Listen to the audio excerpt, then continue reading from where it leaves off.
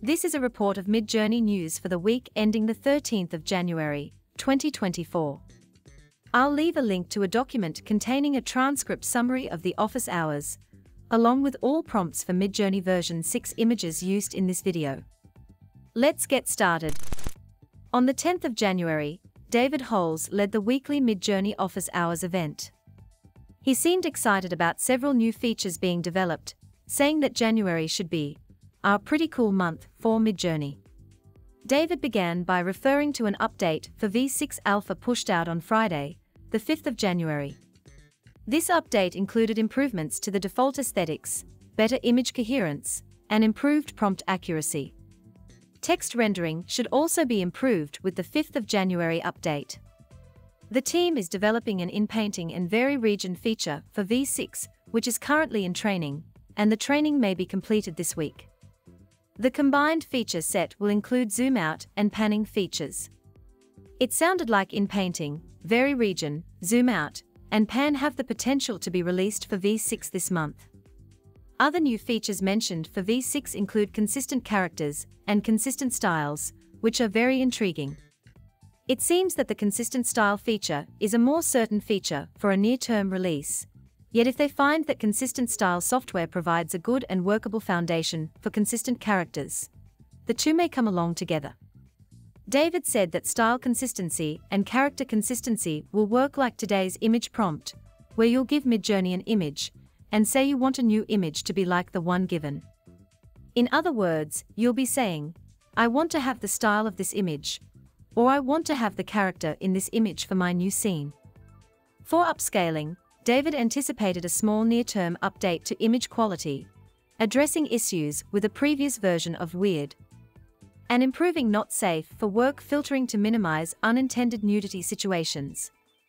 In fact, an upscaling update to V6 did come along the same day as office hours, during the evening of the 10th of January. David also said that there will be an update in the next week or two, aiming to reduce the number of blurry images, addressing concerns people have in that regard. The team is working on a new style tuner, starting with the old style tuner method, along with V6 algorithms, and exploring better versions. They are also exploring control nets, which allow you to specify the composition of a scene, or potentially using a drawing input for scenes. These features are experimental, and they'll test them with guides and mods before deciding to roll them out.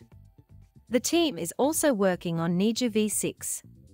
They plan to conduct tests with guides and mods next week, with the potential for a release later this month.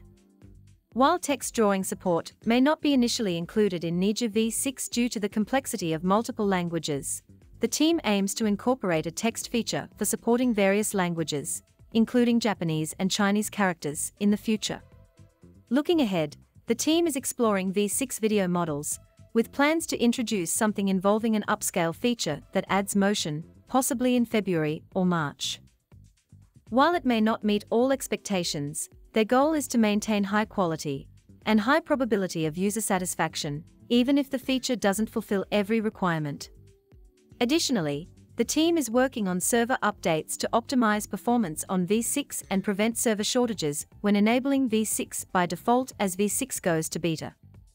Their goal is to make V6 accessible to everyone, rather than just those who opt into it.